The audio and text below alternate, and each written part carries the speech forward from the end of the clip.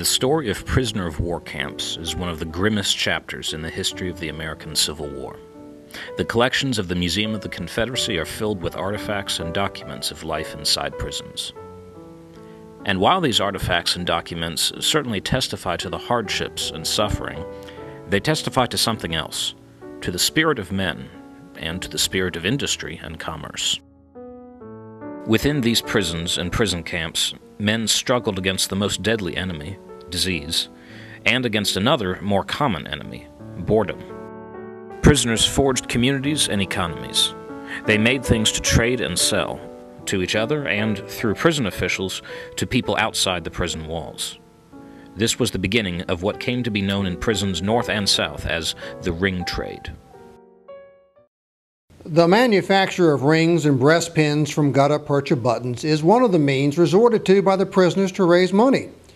It is astonishing what beautiful work of this kind is gotten up at the barracks, and it is the more remarkable as the men have but few tools and work under all sorts of disadvantages.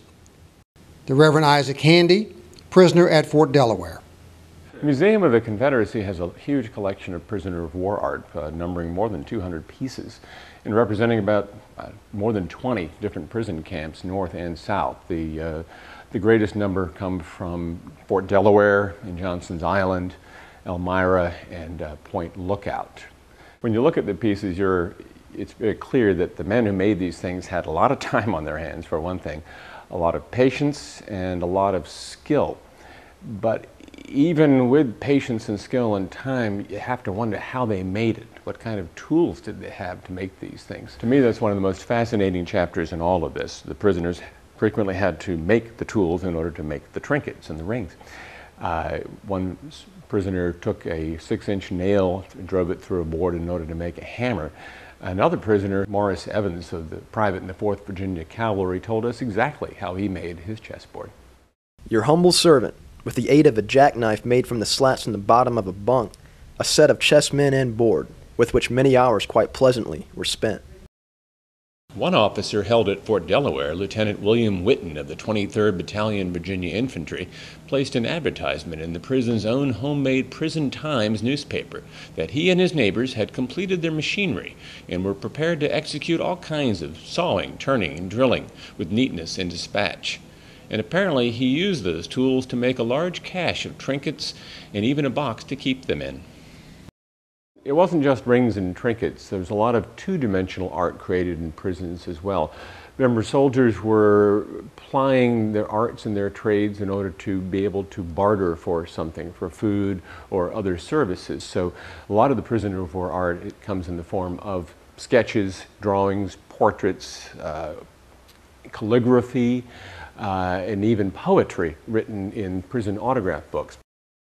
Uh, particularly at Johnson's Island, but also at Fort Delaware, and we have examples from Fort Warren, Boston. Prisoners were able to purchase autograph books or simply reuse little pocket notebooks as autograph books that they passed around among their, their friends and among the celebrities in the camp. Yeah. Some prisoners chose to have those or paid to have those uh, uh, decorated by the men who were good at calligraphy and at sketches. So our collection of prisoner of war autograph books holds some of the finest examples of prisoner of war art. We have one collection that came in in the last 10 or 12 years of a, soldier, Captain George Richwood of uh, the 1st Florida Infantry, which gives us a little insight into the prisoner of war art economy. Uh, we have for Richwood examples of his prisoner of war art, but also of little advertisements that he created, names painted in Bibles and paintings by Richwood available at Division 28 at Fort Delaware where he was imprisoned.